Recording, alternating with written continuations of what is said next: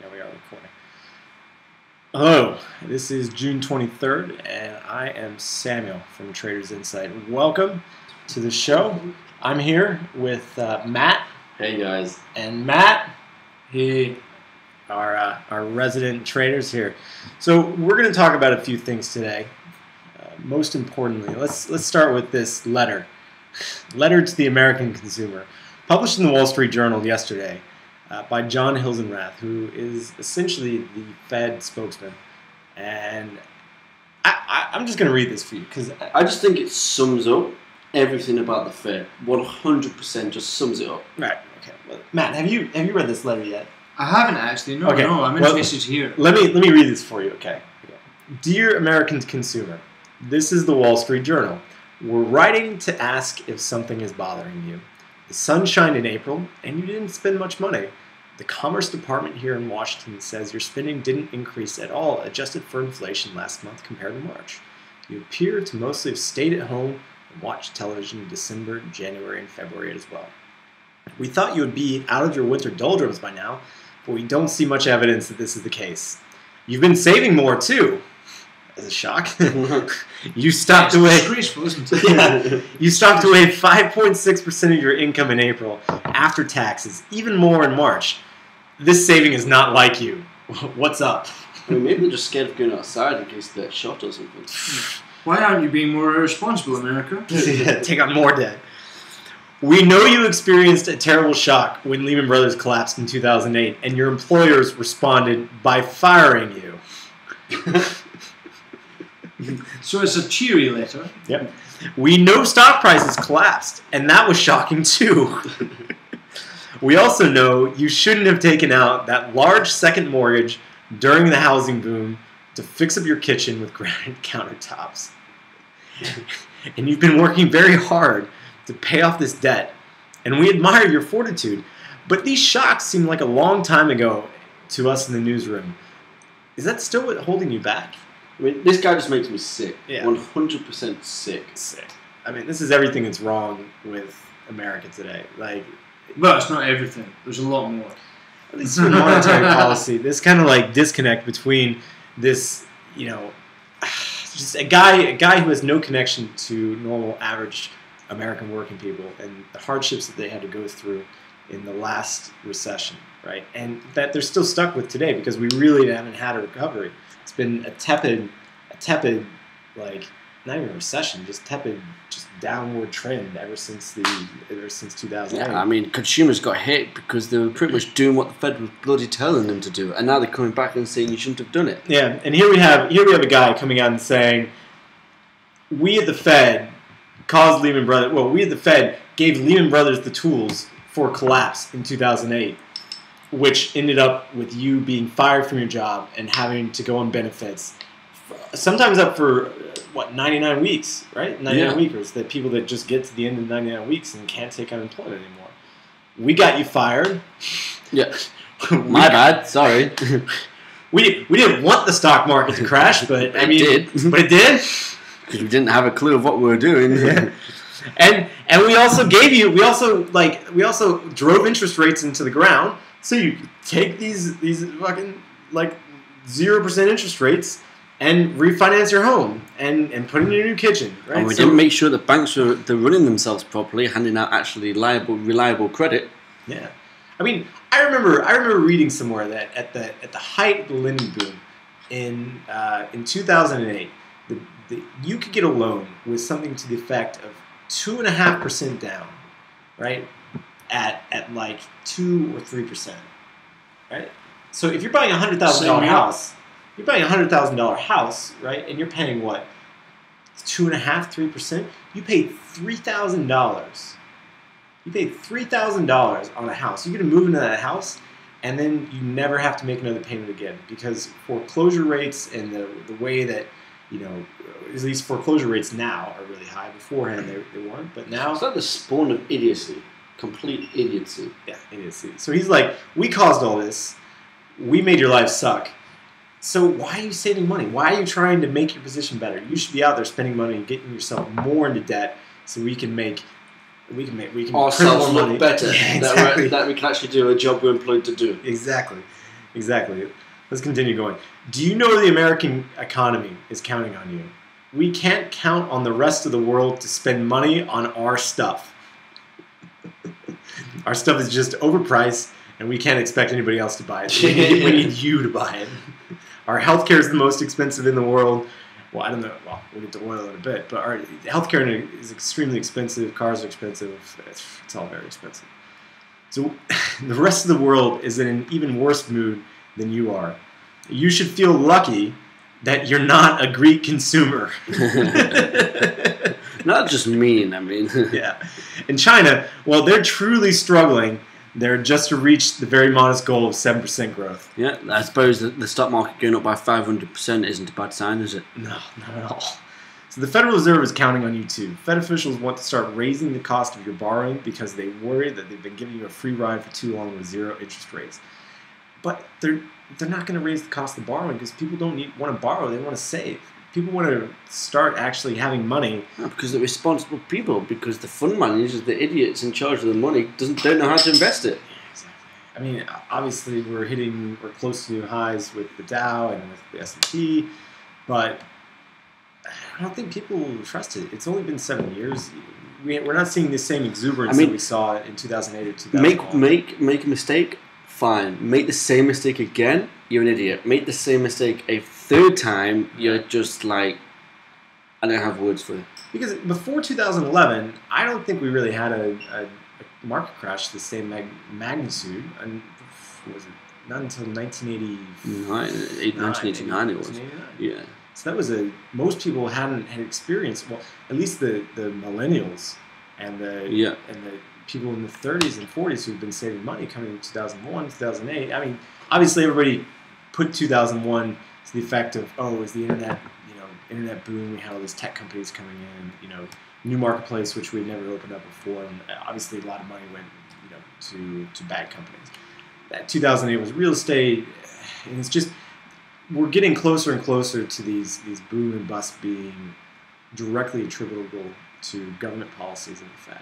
And you know, this letter is just everything that's wrong with the Fed, and everything that we as as people outside of it need to, to start taking into effect and, and really doing something about. So let's move on to uh, some of the uh, trading that we've been looking at this week. So uh, one thing that we've been looking at intensely is oil. We've seen kind of a uh, consolidation of prices ever since what is it about a month ago uh, in beginning of May. We've seen oil hovering right around 60. It's tested 62, but 62 and a half was the high. We've been testing 62 once or twice. We almost got up there today, uh, and we've had lows probably right around 58, 57. So uh, if we look at the preceding several months, we can see that it kind of bottomed out 42, and then we had a you know 50% gain from there from oil. And now we kind of be stuck here. We kind of seem to be stuck here. Yeah, I mean, we just don't know. We don't know which way it's going to go. I mean, in terms of this 2.73% down move for the day, um, you know, if we if we look at mathematics, and an average move, expected move for crude oil futures on a day is two percent. Yeah. So it, it's not quite far off, really. Oh, and you know we're going into Friday with the OPEC meeting, and we're just looking at more indecision here. And the thing which is worrying for me is that with so much indecision with OPEC, I'm surprised we're not seeing more volatility. Yeah. Yeah. So Sure. let's let's pull up the options page, right? So right now we're looking at uh, volatility being at 41.58 on the front month for uh, oil futures and 36.27 on the back month. So if we take a look at the historic, where we get? No, sorry, option statistics.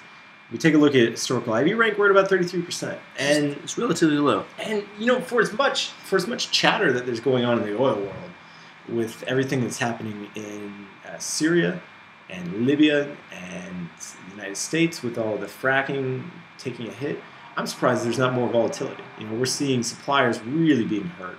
Uh, you know, Russia's taking a big hit. Uh, Saudi Arabia is trying to drive the market under. Um, I mean, maybe the maybe the price is already built in. you think so? Quite possibly. Maybe, but there's so much tension going on in the world. At least in my perspective of what I don't know what I read in the news. Iraq is a mess. Syria is a mess.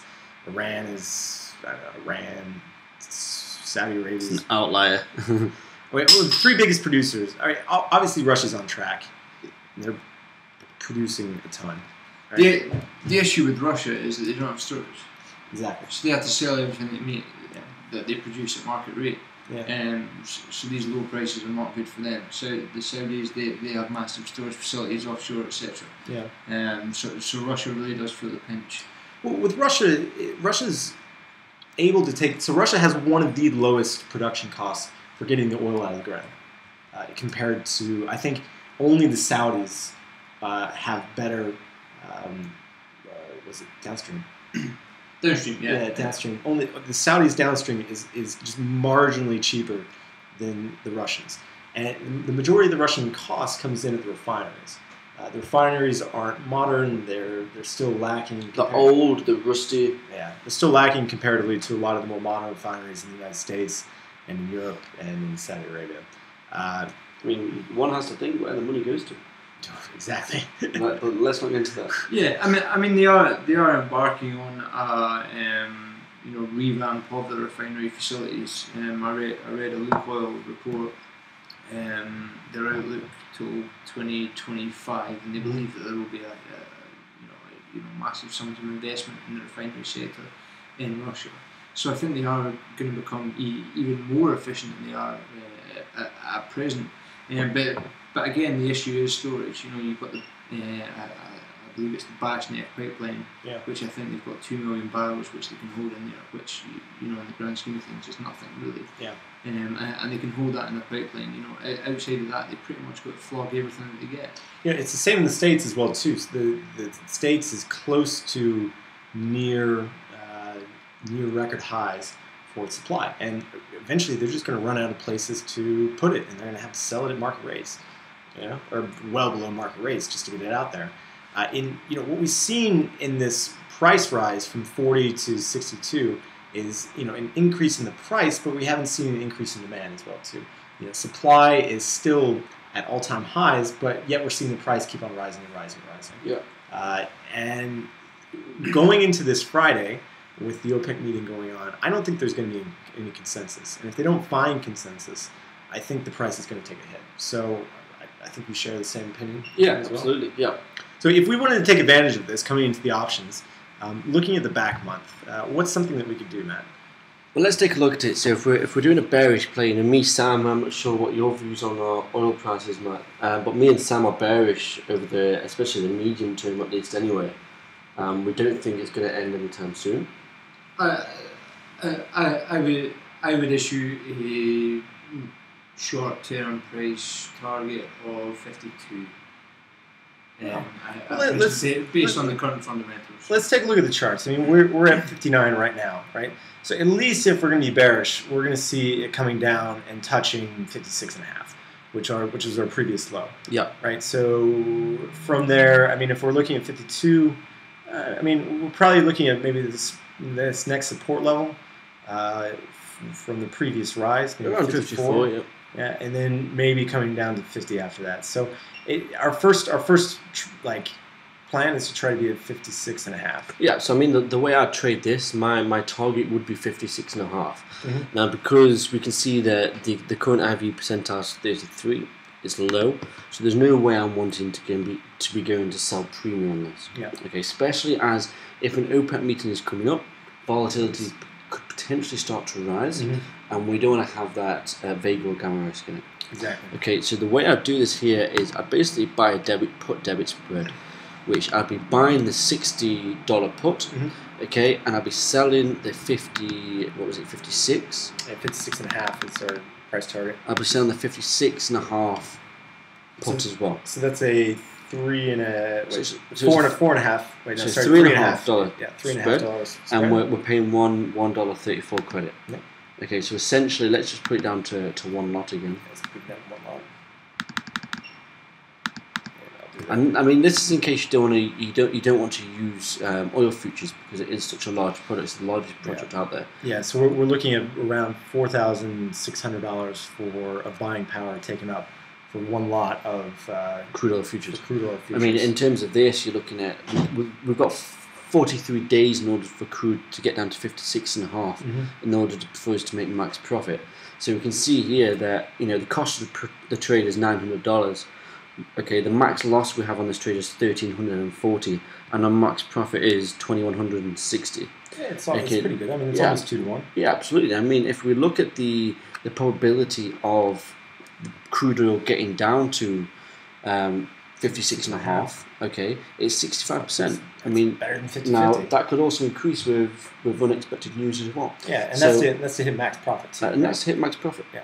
So even if even if you're hitting what's um, halfway there, so even if we're Halfway hitting, there is 150. well, yeah. So One spot 90, so 80. if if we're looking at, at making let's come back here. So if we're only looking to get dollar seventy five out of it, so if we come down here, so 60, 58 and a half, maybe somewhere around here in this 58 and a half, 58, right? We've got an 80 around an 80 percent chance of hitting there and hitting 50 percent max Absolutely. profit. Yeah. So Absolutely. that's a that's a great trade right there. I mean, one thing I'm doing here is, um, is I'm capping my risk, but Mhm. I'm also capping my potential profit. Yeah. But what I get in return is a probability of knowing that the probability of me being successful in this trade, Exactly. and that's what, what that's what I'm all about. I mean, I'm sure you two can agree as experienced traders that it's about living to fight another day. Exactly. It's not about living to fight to, to get the home run. Yeah, you just take a small trade, take a small profit, and you just keep on going. Keep on doing it over and over and over again. Uh, so let's take a look at our next uh, underlying next stock, right, which is Amazon. So Amazon, let's take a look at the chart. Which I want to say is a complete crazy stock. I Ah, mean, if you, on. if you look at it from the start of this year, It's it's, it's it's valued like it's 40%. It's it's valued correctly, right? It's valued correctly. We've been in, we've seen a month at 452 now, and and it must be a Hey, I don't think any stock's valued correctly with interest rates as low as they are. Okay, yeah, I, I agree with you on that one. But uh, the a stock is a stock is always going to be valued correctly, right? It's only it's only not valued correctly when the price changes. Well, okay. Subjective, devil's advocate here. uh, so what we've seen with Amazon is two huge price rises since what is that? That's the January. All right, so from January to March, we saw a 30% 30% increase, and then from January until now, uh, we saw we've seen a 50% or 53.8% uh, increase, with the max being about almost 60%. So we've seen a huge year on year to date profit Now, for Amazon. now, I want to put this into context. If we take the probability, okay, of Amazon increasing another 50% from today, Whoa. okay, in half a year, I didn't think that. I mean, I'm not even sure if the, the option change would allow us to do that. Yeah. But let's take another half a year. Let's take until, what, October? Uh, let's just go a year out. Let's go a year out. Okay, January. Um, so an extra twenty, an extra, an extra fifty percent is two hundred eighteen dollars. All the strikes. Yeah. So we're so we're going to you know like six seventy here almost. I mean, even It's not even on there. I mean, look at this. I mean, even to get to six fifty, it's five point two seven percent. I mean, I think that just puts it in context of how ridiculous this, this move actually is. yeah. I mean, I'm sure if we went on to analyze or something, for example, um, let's just move, remove some of this. Yeah, just type in Amazon up here. Now, if Sam actually picks the date, okay, if we go on to add simulated like trades. probability now. No, no, no, let's go into add simulated trades. Now, let's go on to the date here. Um, the date, let's go back to the start. So, when did it make first make its move? Let's go to January. Right, First of the first, 20th of the first. I should at this point mention I sold on the 1st of May. Ka-ching. It's a good move. yeah, right, let's move this. Should I put this? Put, which one? Completely get rid of that, that whole lot. So, Does it have a thing to go down? yeah, so, Oh, right. This one. yeah, Just drag it down a bit more. Yeah, I got it. so- Let's just take this down. Now, let's change these to probability of touch. Uh, right. Last. Okay. It's the last probability of touch. Okay, so okay, okay, so the date we should be on now Uh, is 120.15. is one twenty fifteen. What's the current price? Four thirty two. So I'm not quite sure it's worked there. Wait, is it supposed to. January 15?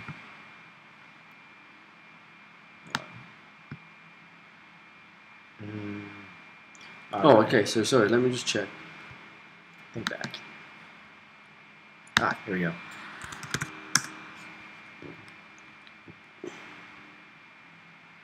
Backtrack it. If you can change the price there to the first one. So let's just go Let's go back to January.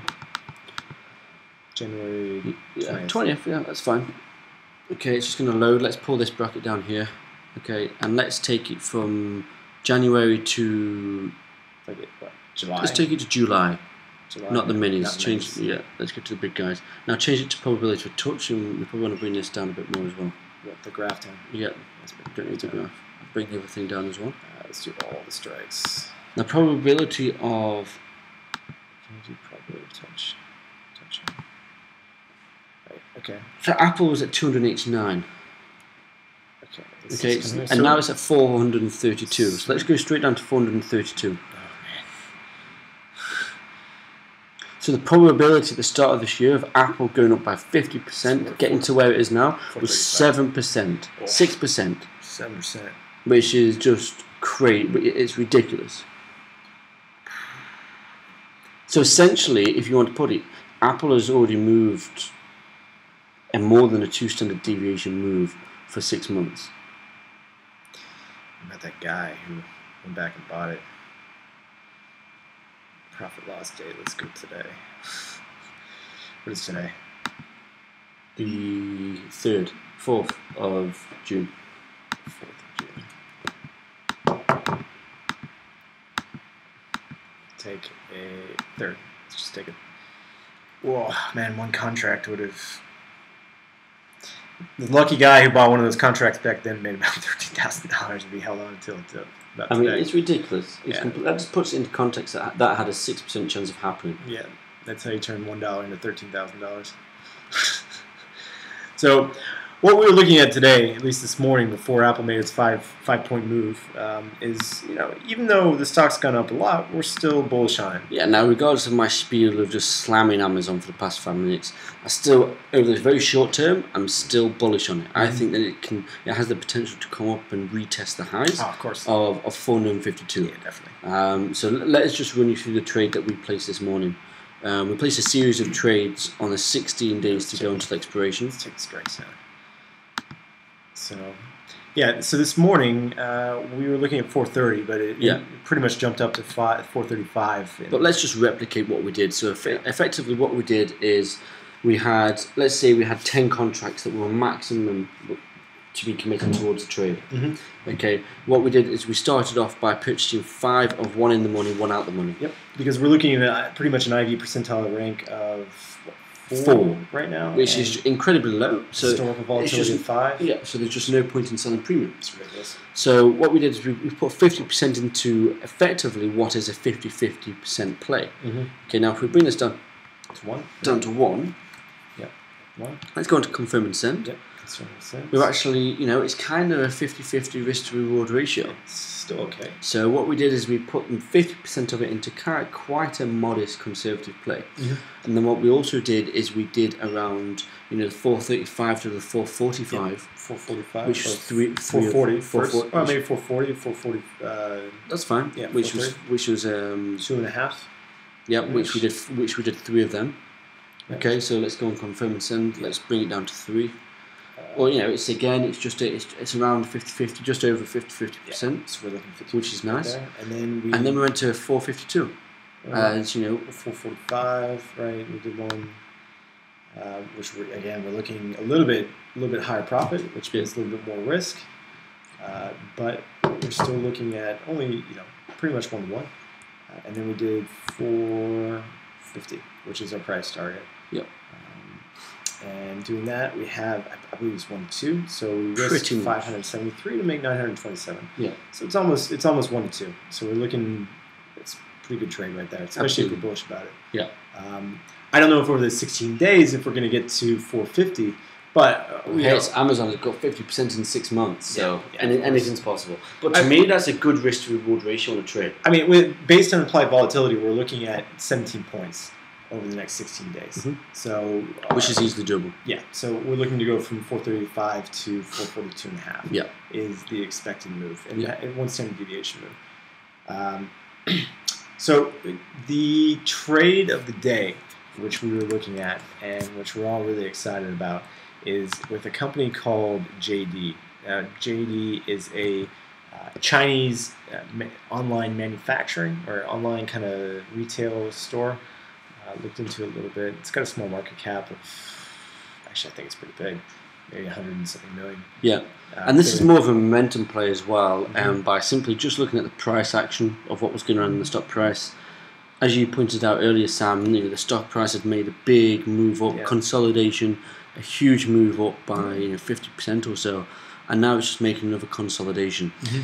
Um, and and when a stock's made a move like this and it consolidates, and buyers keep on coming in, Mhm. you know, we're, we're expecting the stock to go higher, Yeah, exactly. and that's the play we made today. Yeah. So we're, we're looking for to at least test its its previous highs. So at least get to about 37 is Thirty-seven. yeah. Yep. So let me, before you go through your Sam, let me quickly quickly run you through the way I I set up this trade today. Mhm. Um, so what we actually did on JD is between between the current price and its high, okay, is let's say two dollars. I went along the side and looked for the two dollar expected move. Yep. Okay, which is you can either take the sixteen day one. Okay, and what I did first of all was I bought simply debit spreads, okay, of thirty four fifty and thirty six.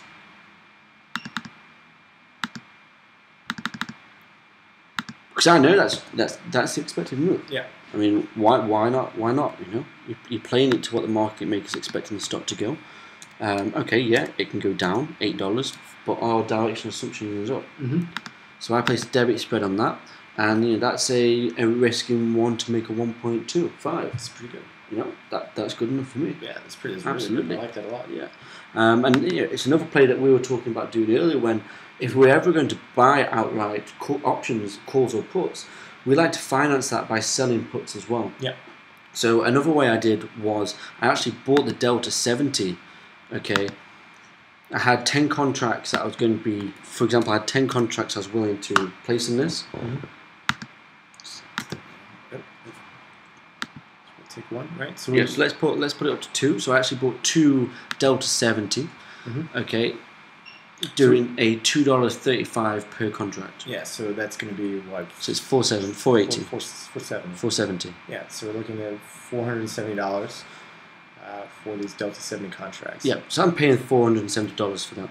Okay, so what I did also, okay, So that, is that means that if we move up from thirty-five, that's by strike price, isn't it? yeah, Um, so if we move up from thirty-five to thirty-seven, well, we're going to make about a dollar fifty. yeah, exactly, Yeah. absolutely. Um, obviously, in order between now and the, in sixteen days' time, the stock price needs to move from its current price two dollars thirty five extra in order for us to break even. Yeah. Um, but So, so we're looking at a break-even price of uh, fi 35, 30, or 35, 35. So, what I did to finance this, so I paid 470, so I paid $4.17 in, in debit. Mhm. So, what I did to finance this was, I know the IV percentile is low, Really low. okay, but what I did is I paid for eight of these, which takes me up to my to my 10 overall. Okay, and that's 20 cents credit, that's Mhm. $1.60. So you're getting one dollar sixty in Yeah, credit. so I'm creating $1.60 in credit, and I mean, credit, and you're paying two dollars thirty-five. So uh, you have about seventy-five cents that you've you've paid there. yeah, Um, so- overall for the call ups. yeah, for the call which is it, it's a brilliant play because what you're doing, you are safeguarding yourself, but also giving you the chance to, to hit that home run and, and buying that lottery ticket. hmm So you're kind of financing buying that lottery ticket with collecting premium as well, hmm which I think is an exceptional play. Yeah, yeah, sounds pretty good. Um, now we we really like this. We feel really good about JD, and we're hoping to see some good price action hopefully the next few days. I mean, Yeah. it's always good to get price action closer to when you to when you buy the options than, Absolutely, yeah. further away, just so you don't have to worry about theta decay. Yeah. Uh, so, you know, hopefully we'll see a move in the next couple of Yeah. days. I mean, what are we looking at? Today, I mean, it's a little bit choppy, but it's definitely yeah. We're looking we're looking at kind of a, a trend starting to move upwards. Yeah. Uh, if we can keep on that, maybe we'll get some big movements here in the next few Yeah. days. Now, I wanted to show you something before we move quickly on. Is I wanted to show you a stock that popped up on my radar today, and it's EMC. I've been looking at EMC. Now, as we know, we are contra- contrarian traders. Yeah. Okay, and we like to, to, if we're going to buy stocks, we like to buy stocks the majority of the time Mhm. when they've been hit. Yeah. Okay, and guys, this is kind of a textbook example of how to invest into, you know, maybe um, low low price stocks and relative to the market. And this is how actually a lot of hedge funds and a lot of traders actually actually invest because it's so so simple. So what you see here is EMC's price. I'm sure everybody knows what a trend line is. If not, you know, just just Google it. It'll tell you within 30 seconds. Mhm. What it's done here is it's identified that the stock's been in a downtrend. Okay, and it's found support in this whole range here of between 25 and 25.75. Yeah. Okay, and what it's done today is it's broken through this descending trend line. Okay, which tells me that this downtrend is over and it's due for a relief rally. Okay, so I was actually looking to buy this today. So for another example of how this works, it's actually Tesla. Okay, if you do the same thing on Tesla and you connect the high, when Tesla broke out, you see it went from 203 to to 248, Wow. which is a, you know, a 40% increase there. So I'm not saying that EMC is going to make a 40% increase, but you can see how alike they are. And Exactly. that's why I took a, a very bullish position on that today as well. And you could definitely see a bit of a pullback as well too, which would be a better time to get into it. And Absolutely. just keep on going up. Um, what, what else were we looking at today? Um, another one that we were looking at is MYL, which kind of had the same pattern as uh, as JD. And we were seeing kind of a, a nice slow ride. Well, not so slow, but we had a big big gain here. And we've just seen consolidation, making a cup and handle pattern, and we're looking for further uh, bullish trends from the stock. Uh, as at least test its new high again. Yeah, exactly. So that's going up from 72 where it is now to Yeah. 76. That's Yeah. a four point move at least that we're looking for. Uh, kind of same pattern, you know, same sort of like same sort of trade that you can make with it that we made before. Yeah. And let's pull up the Euro US dollar some. Oh, right. Yeah. This was this is incredible that what we saw. And this has been whipsawing around recently as well, especially, you know, it's been, and we know that um, Europe's in, in quantitative easing. We know there's problems with, with Greece as well and uncertainty about the euro. yeah. Um, so you can see, you know, especially the, the most recent move, which has lucky enough to catch on and, and took 200 pips out of the trade. Yeah. Um, we can see the whipsawing around of the euro here. Yeah, let's take a look at it. Let's get down to four hour charts. It's a bit more clear. So this this is the, the big move that we saw yesterday. Exactly. I mean, And- if I can interrupt you one more time, sorry. And this, the, the play that I showed you a minute ago, the pattern, it happens exactly here as well. Okay, the trend line's descending. So the euro, That's, that's a big move down. that's a big move down, and the euro is coming down, and it broke through the trend line. And as soon as it came back down to test the trend line, ah, that's when I bought. And you can see what happened here. It, I took 200 pips out of the trade. Yeah. Yeah, it was a big move. And then it went another 100 pips after that. 100 pips. I mean, you know, th- th- these moves aren't nor- aren't abnormal within the currency market Yeah. because, especially more recently, because of you know, these kind of rip your head off rallies. You know, so many people are short the euro dollar. Mhm. It's probably over 65, 60 percent of people who are short. Mhm. Therefore, when there's going to be a rally, it's going to rip your head off. Yeah, So you need to be careful of that. Yeah, definitely. And we also saw a, a huge rally in the actually price breakout in USD JPY the other day. Um, so here it is. We've seen huge consolidation from when was this? Uh, from the beginning of the year. Essentially, it came up to about 120 and just stayed there for uh, about five months, and then at kind of the middle of last month, we started seeing a huge move. And we've seen, what is that? That's from 119 all the way up to 124 now. Absolutely, and I'll show you exactly the way that I'd play this. If we take this onto a daily chart here, um, a very a, another very simple simple way is from from the top here from the high.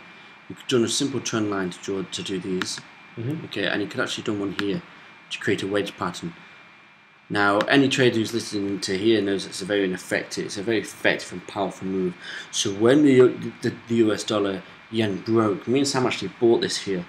Yeah. Okay, and we actually rode it up. We're out of the position now. We actually rode it up on the close of above trend line, and we managed to ride it up to up to around the 123 region. Yeah, So it's, it's a perfectly good, you know, wedge pattern formation here, which shows how powerful these things can be. So obviously, what's going on with the currency markets is great stuff. Uh, we've seen some good trades in the past few days, but the most important news of the day has been with Seth Blatter. Seth Blatter? Seth, Blatter? I, I don't think anybody knows his name. I mean, Sepp Blatter, I Sepp. believe it The, the Blatter? The, the- the Blatter. the Blattinator. The Blatter. Blattmeister. Yeah. Well, Yeah. things have gotten a bit leaky at, uh, at FIFA in the past few days. And. Uh, Blatter's forgot to take his medicine. Yeah. and now people are going to go to jail. Well, or more bribes are going to No, have to be paid. no, no. Pe- People have the prospect of going to jail. Yeah. Yeah, I mean, Pe- I'm- people I'm- with money don't go to jail. I mean, in my opinion, I think he should be sent to a, a jail over here in Russia and see what it, it's like in a real They jail. give him a, they give him a trophy here. I mean, he brought the World, or not the World Cup, World Cup. Yeah, World Cup. Yeah, Yeah, World Cup. 2018 World Cup. Yeah. Putin, Putin probably put him up in one of the big mansions. Well, here. well, Putin's bound to be sweating because he spent a fair amount on uh, on regeneration costs. oh yeah. Yeah, Uh, same yeah, with the yeah. I can't imagine them being. Have you seen the stadium? What they've been doing? yeah, yeah. They've been, They they've re, re, been rebuilding. revamping the whole lot. yeah. And, and in Qatar, they've been building what I don't know, maybe ten new stadiums Next- with air conditioning, roofs, the whole lot. 2026 is going to be on the moon, guys. yeah. But uh, I, I, I mean, the, I don't buy the fact that they're going to redo the votes or, the, or, or they're going to look, look back over it because, uh, you know, financially it doesn't make sense. It doesn't make sense for them to do so. well, maybe in Because kind the, of. the, the, Right. the compensation that they're going to have to pay um, as an organisation to the countries who- uh, to whom that um, they gave these tournaments to, it is just not going to be financially viable to do a recount. Now, th- that's not to say that you know finances should come before morality, but you, you know at the end of the day, does FIFA want to pay out five billion dollars I think to we should. I think to cover the cost of the stadiums that they've just started building on the fact that FIFA gave them the World Cup? I think before before before we say that about not giving compensation, we should check all the other FIFA um, officials' bank offshore bank accounts to see the actual value of that. I mean, it wouldn't surprise me if it amounted to a few billion. Well, well, well, yeah, but I mean, as an organisation, you, you know, any organisation in the world is, is uh, you know, their stakeholders are the most important thing, and, and I don't think anybody benefits from a recount other than England and everybody else who lost out at those um, at, at those bidding processes. Yeah. Um, I mean, yeah, sh- should Russia have got the World Cup? No. Should Qatar have got the World Cup? No. But they've got it now. Grin, bear it, get on with it, um, and and find a find a viable way to make it work. Well, who's to say that Brazil didn't didn't uh, I donate some money for the World And- Cup as well too? And, and who's to say that Uruguay didn't donate for the 1936 World Cup? But you, you, you know, the, these things are done. They're gone. It is, you know, for the most part, set in stone. Um, I, I, and all we can do is learn from the process. Mhm. And uh, and you know, the the next World Cup, what is it, 20, 26? North Korea. Yeah, Pyongyang. The, yeah, the, the Pyongyang World Cup. yeah. you, you know, we, we've exposed what's been exposed. Yes, there were payments to South Africa. Can we take the World Cup back? No. Um, you, you know, same with Russia. Yeah, Russia probably has proud a few people. It wouldn't be the first thing. Um, you know, same with Qatar. But, you know, un- uh, unfortunately, that has been a part of life under FIFA and under Sepp Blatter. I mean, so much for the US police in the world. eh? I mean, they, they one thing for sure is they love a good witch hunt. Yeah, we do.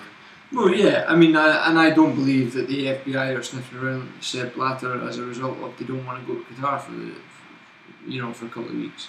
Um, there's obviously ulterior motives at play. Um, what they are, I don't know, but but they've obviously got dirt on Blatter. Um, he's a 79 year old man, mind you. He's not going to jail. He's not going to jail. Yeah, oh, I he's, mean, he, he's a 79 year old rich man. Yeah. I mean, how many 79 year old rich men do you have in jail? Not many. not really. Not many. No. And you know he'll probably develop a heart condition in the next year, and he'll be uh, you know, right. exonerated and, and not have to appear in a courtroom. But you know that that's the Whether, world. whether that heart pain's instigated or not is a completely different matter. yeah, you know you'll probably he'll probably show up in an oxygen tank and a wheelchair in the, in the courtroom. You Is know, it- is there that's, any- that's what happens, right? Can you short FIFA? if only FIFA was listed, I tell you what, there'd be some volatility in there. Yeah. I said the RV percentile would be like 100, 120% of the historical like, every. Yeah, it'd be good to hear from you listeners as well too. Is can we short FIFA and how would we do that and what would the trade be? Yeah, if, if you can have a FIFA arbitrage, that'd be fantastic. Anyone who's bullish on FIFA who's listening, I will take the opposite side of your trade every single day. so with that, we're just going to leave it. We'll be back in a few days uh, with some more commentary and uh, trades for you guys. Uh, thanks for watching, and we'll see you guys again soon. And then if, if anyone bumps into Jamie Dimon on, the, on, on your on your travels, ask him how you how he reduces his cost basis for his clients. Yeah, we'll get to cost basis next week. Uh, he's worth a billion, remember. Yeah. So I'm Sam, and I'm Matt, and and I'm also Matt, the Yeah. Scottish one. the Scottish one. one, Yeah, the enlightened one. the enlightened one. Uh, thanks for listening to Traders Insight. We'll see you next week.